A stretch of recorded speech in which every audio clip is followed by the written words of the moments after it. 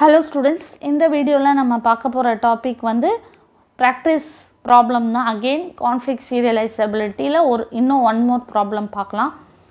So இப்போ நமக்கு வந்து த்ரீ டிரான்சாக்ஷன்ஸ் கொடுத்துருக்காங்க. T one T two T three so நம்மளோட ஃபஸ்ட்டு ஸ்டெப் என்ன? த்ரீ நோட்ஸுக்கு த்ரீ சர்க்கிள்ஸ் போட்டுக்கணும். போட்டுட்டு எ- எது எது கான்ஃப்ளிக்டிங் இன்ஸ்ட்ரக்ஷன்னு பார்க்கணும்.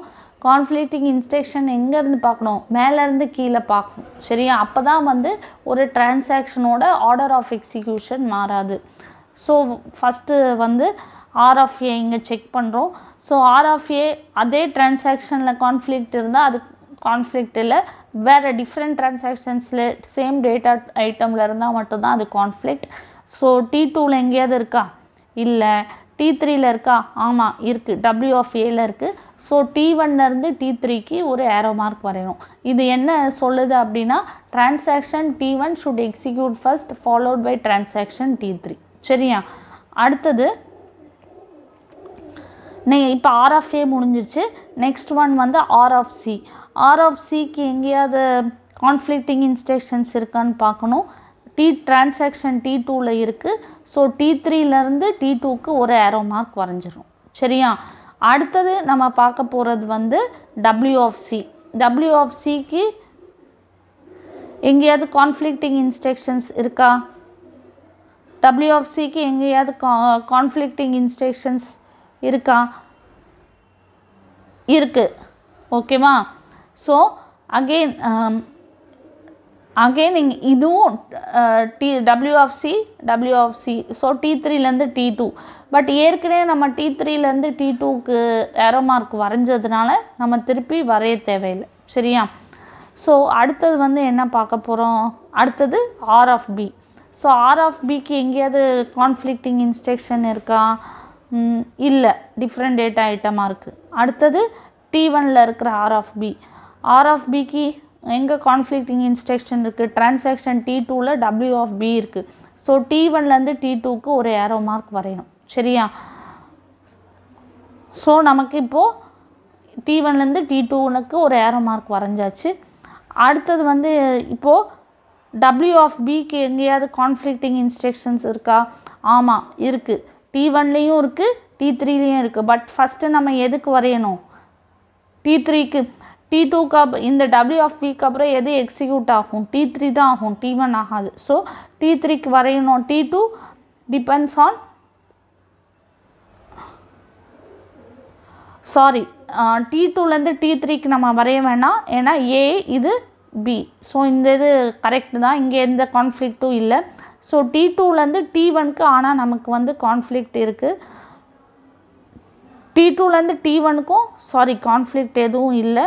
இதுவும் டிஃப்ரெண்ட் டேட்டா ஐட்டம்ஸ் தான். ஸோ இங்கே டபிள்யூ ஆஃப் பி கிடையாது. அடுத்தது எதை செக் பண்ணுறோம் டபிள்யூ ஆஃப் ஏ இப்போ டபிள்யூ ஆஃப் ஏக்கு ஏதாவது கான்ஃப்ளிக்டிங் இன்ஸ்ட்ரக்ஷன் இருக்கா? ஆமாம் டி த்ரீலேருந்து டி ஒனுக்கு இருக்குது ஸோ அதனால் நம்ம இங்கேருந்து என்ன பண்ணுறோம் டி த்ரீலேருந்து டி ஒனுக்கு ஒரு ஏரோ மார்க் வரையணும். இங்கே பார்த்தீங்க இதுக்கப்புறம் நம்ம ப்ரொசீட் பண்ண தேவையில்லை. டபிள்யூ ஆஃப் சி செக் பண்ண தேவையில்லை. வே இல்லை வேறு ஏதாவது இதுக்கு மேலே எந்த ஃபர்தர் டிரான்சாக்ஷன்ஸ் இருந்தாலும் நம்ம பண்ண தேவையில்லை. ஏன்னா நமக்கு இங்கே சைக்கிள் வந்துருச்சு. இது என்ன சொல்லுது? T one will execute first followed by T three இந்த ஏரோ மார்க் என்ன சொல்லுது? T three will execute first followed by transaction T one so இப்படி சொ மாற்றி மாற்றி சொல்கிறதுனால இங்கே என்ன ஆகுது? இது வந்து சைக்கிள் ஃபார்ம் ஆகுது. எங் இப்போ எங் எங்கேயாவது ஒரு இடத்துல நமக்கு சைக்கிள் ஃபார்ம் ஆகிடுச்சு அப்படின்னா நம்ம அங்கே அந்த ப்ரா ப்ராசஸை ஸ்டாப் பண்ணிடலாம். ஸ்டாப் பண்ணிவிட்டு என்ன சொல்லலாம் அப்படின்னா இந்த ஷெட்யூல் வந்து கான்ஃப்ளிக் சீரியலைசபிள் இல்லை அப்படின்னு சொல்லி தான் நம்மளால் சொல்ல முடியும். ஓகேவா இது இது ஒரு பாயிண்ட் இப்போது செகண்ட் பாயிண்ட் தான் ரொம்ப ரொம்ப இம்பார்ட்டண்ட் இந்த ஷெட்யூல் வந்து may or may not be consistent may or may not be consistent இப்போ நமக்கு வந்து சைக்கிள் வந்துருச்சு. அதனால் வந்து இந்த சிஸ்ட இந்த டிரான்சாக்ஷன் வந்து கன்சிஸ்டன்ட் இல்லை அப்படின்னு சொல்லி சொல்ல முடியாது. கன்சிஸ்டண்ட்டாகவும் இருக்கலாம் இல்லை கன்சிஸ்டன்ட் இல்லாமலும் ஆகலாம்.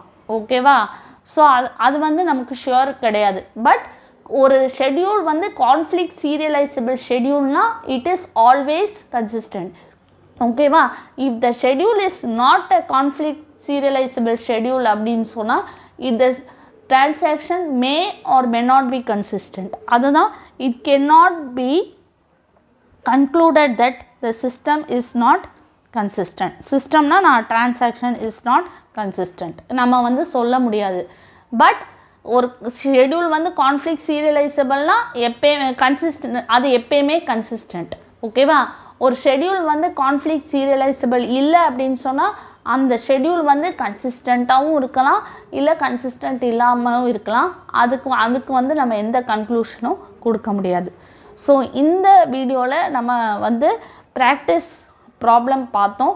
அடுத்த வீடியோவில் நம்ம டிஸ்கஸ் பண்ண போகிற டாபிக் வந்து வியூ சீரியலைசபிலிட்டி தேங்க்யூ